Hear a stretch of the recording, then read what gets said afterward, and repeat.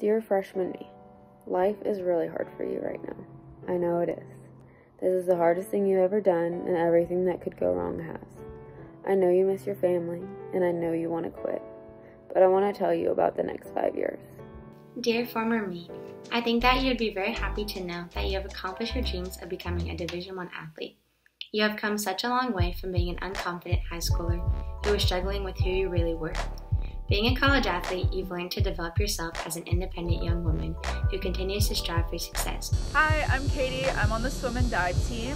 Uh, Eric Sito Silverman, men's tennis team. Hi, Thomas Wilson, men's rowing, and this is a letter to myself in 2019. Dear Cito, focus on the right things and put 100% effort. The results will come.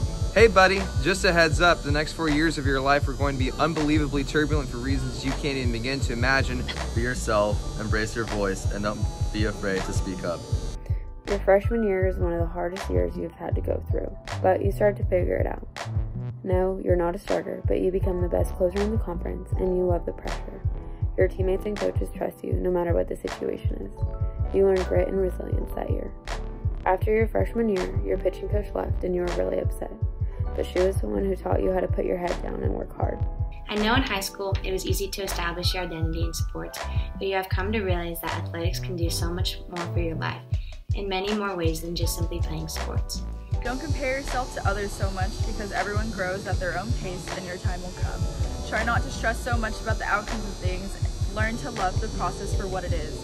It's hard, tiring, but it's also fun and rewarding. Playing water polo at CSUN has taught you to be mentally stronger and you have developed connections with your teammates that have opened you up to so many different and new perspectives.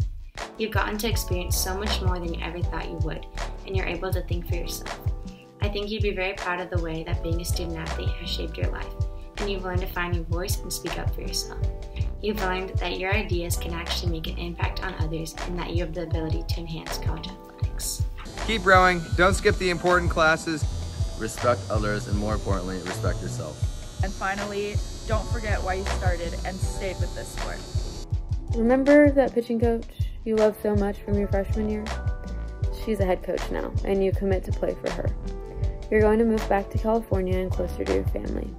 But senior year starts different than every other year. You're going to graduate early, but that means you have to stay at UTA for one more semester before you graduate, not on the team.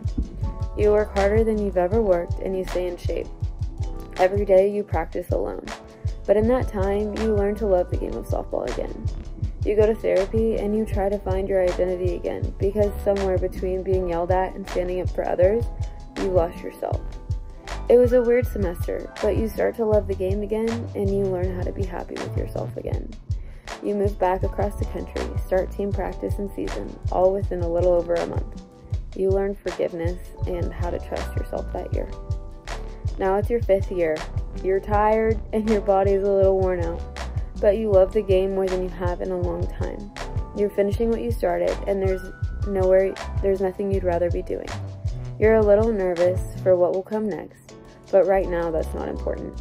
You know who you are, you know what you stand for, you know who you play for, and you know you're right where you're supposed to be. I can't wait to see what we learn this year.